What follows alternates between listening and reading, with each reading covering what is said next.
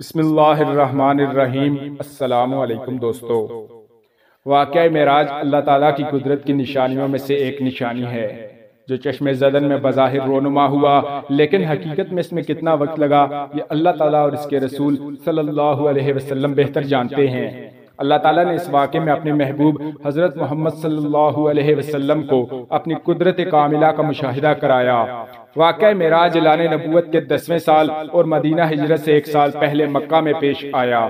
ماہ رجب کی ستائیسویں رات ہے۔ اللہ تعالیٰ فرشتوں سے ارشاد فرماتا ہے، اے فرشتوں آج کی رات میری تسبیح بیان مت کرو، میری حمد و ثنا کرنا بند کر دو، آج کی رات میری عطات و بندگی چھوڑ دو، اور آج کی رات جنت الفردوس کو لباس اور زیور سے آراستہ کر دو۔ اے جبرائیل، میرا یہ پیغام میکائل کو سنا دو کہ وہ رزق کا پیمانہ ہاتھ سے علیحدہ کر دے، اسرافیل سے کہہ دو کہ وہ سور کو کچھ عرصہ کے لیے موقف کر دے، اسرائیل سے کہہ دو کہ کچھ دیر کے لیے روحوں کو قبض کرنے سے ہاتھ اٹھا لے، رضوان سے کہہ دو کہ وہ جنت الفردوس کی درجہ بندی کرے، مالک سے کہہ دو کہ دوزخ کو تالا لگا دے کھل دے بری کی روحوں سے کہہ دو کہ آراستہ و پے راستہ ہو جائیں اور جنت کے محلوں کی چھتوں پر صفے بستہ کھڑی ہو جائیں، مشرق سے مغرب تک، جس قدر قبریں ہیں ان سے عذاب ختم کر دیا جائے۔ آج کی رات میرے محبوب حضرت محمد صلی اللہ علیہ وسلم کے استقبال کے لیے تیار ہو جاؤ چشم زدن میں عالم بالا کا نقشہ بدل گیا۔ حکم ربی ہوا۔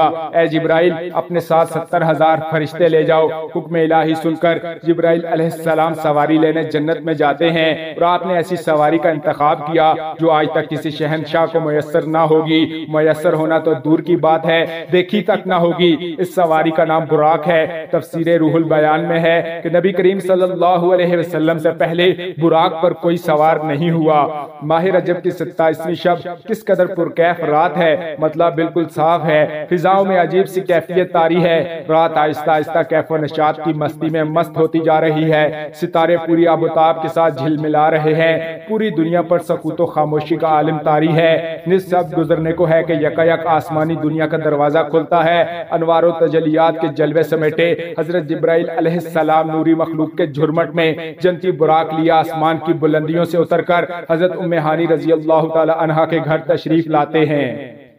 جہاں ماہ نبوت حضرت محمد صلی اللہ علیہ وسلم مہ خواب ہیں، آنکھیں بند کیے، دل بیدار لیے آرام فرما رہے ہیں۔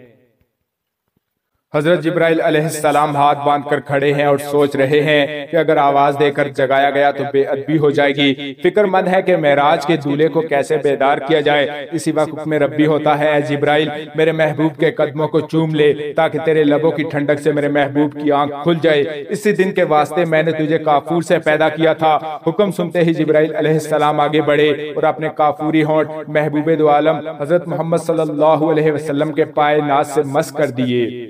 یہ منظر بھی کس قدر حسین ہوگا جب حضرت جبرائیل علیہ السلام نے فخر کائنات حضرت محمد صلی اللہ علیہ وسلم کے قدموں کو بھوسا دیا۔ حضرت جبرائیل علیہ السلام کے ہونٹوں کی ٹھنڈک پا کر حضور نبی کریم صلی اللہ علیہ وسلم بیدار ہوتے ہیں اور دریافت کرتے ہیں، اے جبرائیل، کیسے آنا ہوا؟ جبرائیل عرض کرتے ہیں، یا رسول اللہ صلی اللہ علیہ وسلم، اللہ تعالیٰ کی طرف سے بلاوے کا پروانہ لے کر حاضر ہوا ہوں۔ یا رسول اللہ صلی اللہ علیہ وسلم، اللہ تعالیٰ آپ کی ملاقات کا مشتاق ہے۔ اے نبی کریم صلی اللہ علیہ وسلم، تشریف لے چلیے۔ زمین سے لے کر آسمان تک ساری گزرگاہوں پر مشتاق دید کا ہجوم ہاتھ باندھے کھڑا ہے۔ چنانچہ آپ نے سفر کی تیاری شروع کی، پھر آپ صلی اللہ علیہ وسلم کے سر انور پر امامہ باندھا گیا۔ علامہ کاشوی رحمت اللہ علیہ فرماتے ہیں، شب معراج حضرت محمد صلی اللہ علیہ وسلم کو جو امامہ شریف پہنایا گیا، وہ امامہ مبارک حضرت آدم علیہ السلام کی پیدائش سے سات ہزار سال پہلے کا تیار کیا ہوا تھا۔ چالیس ہزار ملائکہ اس کی تعظیم و تکریم کے لیے اس کے ارد گرد کھڑے تھے۔ حضرت جبرائیل علیہ السلام نے سرور کونین حضرت محمد صلی اللہ علیہ وسلم کو نور کی ایک چادر پہنائی، زمرد کی نالین مبارک پاؤں میں زیب تن فرمائی، یاقوت کا کمر بند باندھا۔ چند لمحوں کے بعد وہ وقت بھی آ گیا کہ سرور کونین حضرت محمد صلی اللہ علیہ وسلم براق پر تشریف فرما ہو گئے۔ حضرت جبرائیل علیہ السلام نے رکاب تھام لی۔ حضرت میکائل علیہ السلام نے لگام پکڑی۔ حضرت اسرافیل علیہ السلام نے زین کو سنبھالا۔ حضرت امام کاشفی رحمت اللہ علیہ فرماتے ہیں کہ معراج کی رات اسی ہزار فرشتے حضور نبی کریم صلی اللہ علیہ وسلم کی دائیں طرف اور اسی ہزار فرشتے بائیں طرف تھے۔ فضا فرشتوں کے درود السلام کی صداؤں سے گونج اٹھی اور آقا نامدار حضرت محمد صلی اللہ علیہ وسلم درود السلام کی گونج میں سفر معراج کا آغاز فرماتے ہیں۔ آپ صلی اللہ علیہ وسلم نہایت شان و شوکت سے ملائکہ کے جلوس میں مسجد حرام سے مسجد اقصا کی طرف روانہ ہوتے ہیں یہ گھڑی کس قدر دل نواز تھی کہ جب مکان سے لا مکان تک نور ہی نور پھیلا ہوا تھا۔ یہ نوری بارات فلک بوس پہاڑوں بے آب و گیا ریگستانوں گھنے جنگلوں چٹیل میدانوں سرسبز سبز و شاداب وادیوں پر سے سفر کرتی ہوئی وادی بدخا میں جا پہنچی، جہاں کھجور کے بے شمار درخت ہیں۔ حضرت جبرائیل علیہ السلام نے عرض کیا، اللہ کے رسول صلی اللہ علیہ وسلم، یہاں اتر کر دو رکت نماز نفل ادا کیجیے۔ یہ آپ کی ہجرت گاہ مدینہ طیبہ ہے۔ نفل کی ادائیگی کے بعد سفر شروع ہوتا ہے۔ راستے میں ایک سرخ ٹیلا آتا ہے، جہاں حضرت موسیٰ علیہ السلام کی قبر ہے۔ حضور نبی کریم صلی اللہ علیہ وسلم ارشاد فرماتے ہیں کہ معراج کی رات میں سرخ ٹیلے سے گزرا تو میں نے دیکھا کہ وہاں موسیٰ علیہ السلام کی قبر ہے اور وہ اپنی قبر میں کھڑے ہو کر نماز پڑھ رہے ہیں۔ پھر دیکھتے ہی دیکھتے بیت المقدس بھی آ گیا، جہاں قدسیوں کا جمع غفیر سلامی کے لیے موجود ہے۔ پورو گلمہ خوش آمدید کہنے کے لیے اور تقریباً ایک لاکھ چوبیس ہزار انبیاء مرسلین استقبال کے لیے بے چین و بے قرار کھڑے ہیں۔ حضور نبی کریم صلی اللہ علیہ وسلم اس مقام پر تشریف فرما ہوئے، جسے باب محمد صلی اللہ علیہ وسلم کہا جاتا ہے۔ حضرت جبرائیل علیہ السلام ایک پتھر کے پاس آئے جو اس جگہ موجود تھا۔ حضرت جبرائیل علیہ السلام نے اس پتھر میں اپنی انگلی مار کر اس میں سوراخ کر دیا اور براق کو اس میں باندھ دیا۔ آفتاب نبوت حضرت محمد صلی اللہ علیہ وسلم مسجد اقصا میں داخل ہوتے ہیں۔ سہن حرم سے فلک تک نور ہی نور چھایا ہوا ہے۔ ستارے ماند پڑ چکے ہیں۔ کچھ سی سلامی دے رہے ہیں۔ حضرت جبرائیل علیہ السلام آزان دے رہے ہیں۔ تمام انبیاء اکرام صف در صف کھڑے ہو رہے ہیں۔ جب صفیں بن چکی تو امام الانبیاء فخر دو جہاں حضرت محمد صلی اللہ علیہ وسلم امامت فرمانے تشریف لاتے ہیں۔ تمام انبیاء کی ابتدا میں دو رکت نماز ادا کر کے اپنی نیاز مندی کا اعلان کرتے ہیں۔ ملائکہ اور انبیاء اکرام سب کے سب سر تسلیم خم کیے ہوئے کھڑے ہیں۔ بیت المقدس نے آج تک ایسا دل نواز منظر اور روح پر سامان نہیں دیکھا ہوگا، وہاں سے فارغ ہونے کے بعد عظمت و رفت کے پرچم پھر بلند ہونے شروع ہوتے ہیں۔ درود و سلام سے فضا ایک مرتبہ پھر گونج اٹھتی ہے۔ سرور کونین حضرت محمد صلی اللہ علیہ وسلم نوری مخلوق کے جھرمٹ میں آسمان کی طرف روانہ ہوتے ہیں۔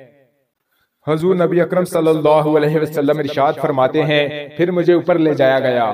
براق کی رفتار کا عالم یہ تھا کہ جہاں نگاہ کی انتہا ہوتی ہے، وہاں براق کا پہلا قدم پڑتا تھا۔ فوراً پہلا آسمان آ گیا۔ حضرت جبرائیل علیہ السلام نے آسمان کا دروازہ کھٹکھٹایا۔ دربان نے پوچھا، کون ہے؟ جواب دیا گیا، جبرائیل۔ دربان نے پوچھا، تمہارے ساتھ کون ہے؟ حضرت جبرائیل علیہ السلام نے کہا، حضرت محمد صلی اللہ علیہ وسلم۔ دربان نے کہا، مرحبا، دروازے انہی کے لیے کھولے جائیں گے۔ چنانچہ دروازہ کھول دیا گیا۔ آسمان اول پر حضرت آدم علیہ السلام نے حضور سرور قرآن صلی اللہ علیہ وسلم کو خوش آمدید کہا۔ دوسرے آسمان پر پہنچے تو حضرت عیسیٰ علیہ السلام اور حضرت یحییٰ علیہ السلام نے حضور نبی کریم صلی اللہ علیہ وسلم کو خوش آمدید کہا۔ تیسرے آسمان پر حضرت یوسف علیہ السلام نے، چوتھے آسمان پر حضرت اسماعیل علیہ السلام نے، پانچویں آسمان پر حضرت ہارون علیہ السلام نے، چھٹے آسمان پر حضرت موسیٰ علیہ السلام نے اور ساتویں آسمان پر حضرت ابراہیم علیہ السلام نے۔ سرور کونین حضرت محمد صلی اللہ علیہ وسلم کا استقبال کیا اور خوش آمدید کہا۔ پھر آپ صلی اللہ علیہ وسلم کو جنت کی سیر کرائی گئی۔ پھر آپ صلی اللہ علیہ وسلم اس مقام پر پہنچے جہاں کل قدرت کے چلنے کی آواز سنائی دیتی ہے۔ جب نبی کریم صلی اللہ علیہ وسلم صدرت المنتہا تک پہنچے صدرہ وہ مقام ہے جہاں مخلوق کی انتہا ختم ہو جاتی ہے۔ فرشتوں نے زن طلب کیا، اے اللہ، تیرے محبوب تشریف لا رہے ہیں۔ ان کے دیدار کی ہمیں بھی اجازت عطا فرما۔ اللہ تعالیٰ نے حکم دیا کہ تمام فرشتے صدرت المنتہا پر جمع ہو جائیں اور جب میرے محبوب کی سواری آئے تو سب زیارت کر لیں۔ چنانچہ ملائکہ صدرہ پر جمع ہو گئے اور جمال محمد صلی اللہ علیہ وسلم کو دیکھنے کے لیے صدرہ کو ڈھانک لیا۔ اس مقام پر حضرت جبرائیل علیہ السلام بھی رک گئے اور عرض کرنے لگے، یا رسول اللہ صلی اللہ علیہ وسلم، ہم سب کے لیے ایک جگہ مقرر ہے، اب اگر میں ایک بال برابر بھی آگے بڑھوں گا، تو اللہ تعالیٰ کے انوار و تجلیات میرے پروں کو جلا کر رکھ دیں گے، یہ میرے مقام کی انتہا ہے. سبحان اللہ۔ حضور نبی کریم صلی اللہ علیہ وسلم کی رفت و عظمت کا اندازہ لگائیے کہ جہاں شہباز صدرہ کے بازو تھک جائیں اور روح الامین کی حد ختم ہو جائے، وہاں حضور نبی کریم صلی اللہ علیہ وسلم کی پرواز شروع ہوتی ہے۔ اس موقع پر حضور نبی کریم صلی اللہ علیہ وسلم ارشاد فرماتے ہیں، اے جبرائیل، کوئی حاجت ہو تو بتاؤ۔ حضرت جبرائیل علیہ السلام نے عرض کی، اے اللہ کے نبی، یہ مانگتا ہوں کہ قیامت کے دن پلے سرات پر آپ کی امت کے لیے بازو پھیلا سکوں تاکہ حضور نبی کریم صلی اللہ علیہ وسلم کا ایک ایک غلام آسانی کے ساتھ پلے سرات سے گزر جائے۔ حضور نبی کریم صلی اللہ علیہ وسلم جبرائیل امین کو چھوڑ کر تنہا انوار و تجلیات کی منزل طے کرتے گئے۔ جب نبی کریم صلی اللہ علیہ وسلم عرش کے قریب پہنچے تو آگے حجبات ہی حجبات تھے، تمام پردے اٹھا دیے گئے۔ اس واقعے کو قرآن مجید اس طرح سے بیان فرماتا ہے۔ ترجمہ، پھر جلوہ حسن نے اپنے ظہور کا ارادہ فرمایا۔ محمد صلی اللہ علیہ وسلم شب معراج عالم مکان کے سب سے اونچے کنارے پر تھے یعنی عالم حلق کی انتہا پر تھے۔ اس آیت کی تفسیر میں مفسر قرآن حضرت امام راضی رحمت اللہ علیہ فرماتے ہیں کہ سرور دو عالم حضرت محمد صلی اللہ علیہ وسلم شب معراج آسمان بری کے بلند کناروں پر پہنچے تو تجلی الہی متوجہ نمائش ہوئی۔ صاحب تفسیر روح البیان نے فرمایا کہ فستوا کے معنی یہ ہیں کہ حضور اقدس صلی اللہ علیہ وسلم نے اف کے اعلیٰ یعنی آسمانوں کے اوپر جلوہ فرمایا۔ پھر وہ مبارک گھڑی بھی آ گئی کہ پیغمبر اسلام حضرت محمد صلی اللہ علیہ وسلم حرم الہی میں پہنچے اور اپنے سر کی آنکھوں سے عالم بیداری میں اللہ تعالیٰ کی زیارت کی۔ قرآن مجید میں اس ملاقات کا منظر ان دلکش الفاظ میں ہوا ہے۔ ترجمہ۔ پھر وہ رب العزت اپنے حبیب صلی اللہ علیہ وسلم سے قریب ہوا پھر اور زیادہ قریب ہوا پھر دو کمانوں کی مقدار کا فاصلہ رہ گیا یعنی انتہائی قریب۔ حضرت امام جعفر صادق رضی اللہ تعالیٰ عنہ فرماتے ہیں یہ وہی اللہ تعالیٰ نے براہ راست اپنے محبوب کو ارشاد فرمائی درمیان میں کوئی وسیلہ نہ تھا پھر راز و نیاز کی گفتگو ہوئی۔ اس گفتگو کا علم اللہ تعالیٰ اور حضور نبی کریم صلی اللہ علیہ وسلم ہی کو ہے۔ اللہ تعالیٰ قرآن مجید میں ارشاد فرماتا ہے۔ ترجمہ، ان کے دل نے اس کے خلاف نہیں جانا جو ان کی آنکھوں نے دیکھا۔ اس آیت مبارکہ میں حضور سرور کونین، حضرت محمد صلی اللہ علیہ وسلم کے قلب انور کی عظمت کا بیان ہے کہ شب معراج آپ صلی اللہ علیہ وسلم کی مقدس آنکھوں نے انوار و تجلیات اور برکات الہی دیکھے، حتیٰ کہ اللہ تعالیٰ کا دیدار کیا۔ تو آنکھ نے جو دیکھا، دل نے اس کی تصدیق کی۔ یعنی آنکھ سے دیکھا اور دل نے گواہی دی۔ اور اس دیکھنے میں شک و تردد اور وہم نہ رہ پائے۔ اللہ تعالیٰ نے قرآن مجید میں اپنے محبوب کی آنکھوں کا ذکر فرمایا۔ ان کی آنکھ نہ کسی اور طرف مائل ہوئی اور نہ حد سے بڑھی، جس کو تکنا تھا، اسی پر جمی رہی۔ اللہ تعالیٰ سے ملاقات کے بعد نبی کریم صلی اللہ علیہ وسلم براق پر سوار ہوئے اور رات کی تاریکی میں مکہ معظمہ واپس تشریف لے آئے۔ اس واقعے میں اللہ تعالیٰ کی قدرت کی بڑی بڑی نشانیاں موجود ہیں۔ یہ ساری کائنات جو کہ کارخانہ قدرت ہے اور اس کارخانہ عالم کا مالک حقیقی اللہ تعالیٰ ہے۔ جب اللہ تعالیٰ نے اپنے محبوب پیغمبر کو اپنی قدرت کی نشانیاں دکھانے کے لیے بلوایا تو اس میں کتنا وقت لگا؟ اس کا اندازہ ہم نہیں لگا سکتے۔ اللہ تعالیٰ جو ہر شے پر قادر ہے، ہر چیز پر قدرت رکھنے والا ہے، اس رب کائنات نے اس کارخانہ عالم کو یکدم بند کر دیا، سوائے اپنے محبوب صلی اللہ علیہ وسلم۔ اور ان چیزوں کے جنہیں حضور نبی کریم صلی اللہ علیہ وسلم نے متحرک پایا۔ باقی تمام کائنات کو ٹھہرا دیا۔ چاند اپنی جگہ ٹھہر گیا۔ سورج اپنی جگہ رک گیا۔ حرارت اور ٹھنڈک اپنی جگہ ٹھہر گئی۔ حضور نبی کریم صلی اللہ علیہ وسلم کے بستر مبارک کی حرارت اپنی جگہ قائم رہی۔ حجرہ مبارک کی زنجیر ہلتے ہوئے جس جگہ پہنچی تھی، وہیں رک گئی۔ جو سویا تھا سوتا رہ گیا۔ جو بیٹھا تھا بیٹھا رہ گیا۔ غرض یہ کہ زمانے کی حرکت بند ہو گئی۔ bem. جب سرکار دو عالم صلی اللہ علیہ وسلم راتوں رات ایک طویل سفر کر کے زمین پر تشریف لائے تو کارخانہ عالم بحکم الہی پھر چلنے لگا۔ ہر شے اسر نو مراحل کو طے کرنے لگی۔ چاند، سورج اپنی منازل طے کرنے لگے۔ حرارت و ٹھنڈک اپنے درجات طے کرنے لگی۔ غرض یہ کہ جو چیزیں سکون میں آ گئی تھی، مائل حرکت ہونے لگی۔ بستر مبارک کی حرارت اپنے درجات طے کرنے لگی۔ حجرہ مبارک کی زنجیر ہلنے لگی۔ کائنات میں نہ کوئی تغیر تغیر آیا اور نہ ہی کسی کو احساس تک ہوا۔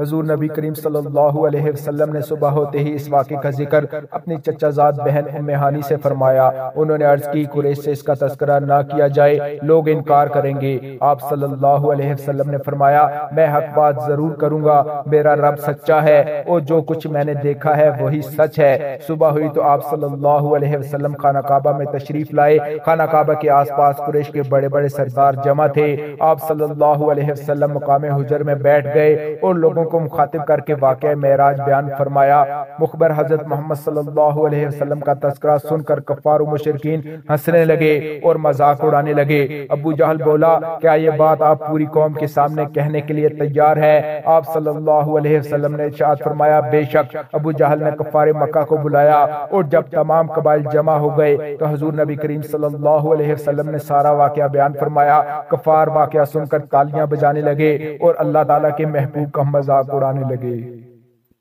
ان قبائل میں شام کے تاجر بھی تھے، انہوں نے بیت المقدس کو کئی بار دیکھا تھا۔ انہوں نے حضور نبی کریم صلی اللہ علیہ وسلم سے پوچھا، ہمیں معلوم ہے کہ آپ آج تک بیت المقدس میں نہیں گئے۔ بتائیے اس کے ستون اور دروازے کتنے ہیں؟ حضور نبی کریم صلی اللہ علیہ وسلم نے ارشاد فرماتے ہیں کہ یکا یک بیت المقدس کی پوری عمارت میرے سامنے آ گئی۔ وہ جو سوال کرتے، میں جواب دیتا جاتا تھا، مگر پھر بھی انہوں نے اس واقعے کو سچا نہ مانا۔ جب حضور نبی کریم صلی اللہ علیہ وسلم مسجد اقصا کے بارے میں جواب جواب دے چکے تو کفار مکہ حیران ہو کر کہنے لگے، مسجد اقسا کا نقشہ تو آپ نے ٹھیک ٹھیک بتا دیا، لیکن ذرا یہ بتائیے کہ مسجد اقسا جاتے یا آتے ہوئے ہمارا قافلہ آپ کو راستے میں ملا ہے یا نہیں؟ حضور نبی کریم صلی اللہ علیہ وسلم نے ارشاد فرمایا کہ ایک قافلہ مقام رخا پر گزرا، اس کا ایک اونٹ گم ہو گیا تھا۔ وہ لوگ اسے تلاش کر رہے تھے اور ان کے پالان میں پانی کا بھرا ہوا ایک پیالہ رکھا ہوا تھا۔ مجھے پیاس لگی تو میں نے پیالہ اٹھا کر اس کا پانی پی لیا، پھر اس کی جگہ اس کو ویسے ہی رکھ دیا جیسے وہ رکھا ہوا تھا۔ جب وہ لوگ آئیں تو ان سے دریافت کرنا کہ جب وہ اپنا گھم شدہ اونٹ تلاش کر کے پالان کی طرف واپس آئے تو کیا انہوں نے اس پیالے میں پانی پایا تھا یا نہیں؟ انہوں نے کہا ہاں ٹھیک ہے، یہ بہت بڑی نشانی ہے۔ پھر حضور نبی کریم صلی اللہ علیہ وسلم نے فرمایا، میں فلاں قافلے سے بھی گزرا۔ دو آدمی مقام زید دعا میں ایک اونٹ پر سوار تھے۔ ان کا اونٹ میری وجہ سے بدک کر بھاگا اور وہ دونوں سوار گر پڑے۔ ان میں فلاں شخص کا ہاتھ ٹوٹ گیا۔ جب وہ آئیں تو ان دونوں سے یہ بات پوچھ لینا۔ انہوں نے کہا اچھا یہ دوسری نشانی ہوئی۔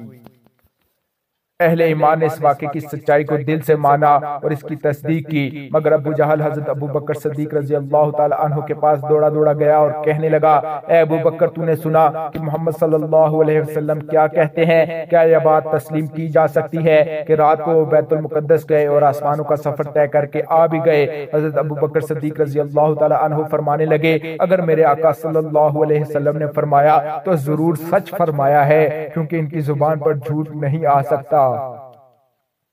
میں اپنے نبی کی سچائی پر ایمان لاتا ہوں۔ کفار بولے، ابو بکر، تم کھلا مکھلا ایسے خلاف عقل بات کیوں صحیح سمجھتے ہو؟ اس عاشق کے صادق نے جواب دیا، میں تو اس سے بھی زیادہ خلاف عقل بات پر یقین رکھتا ہوں یعنی باری تعالیٰ پر۔ اسی دن سے حضرت ابو بکر صدیق رضی اللہ تعالی عنہ کو دربار نبوت سے صدیق کا لقب ملا۔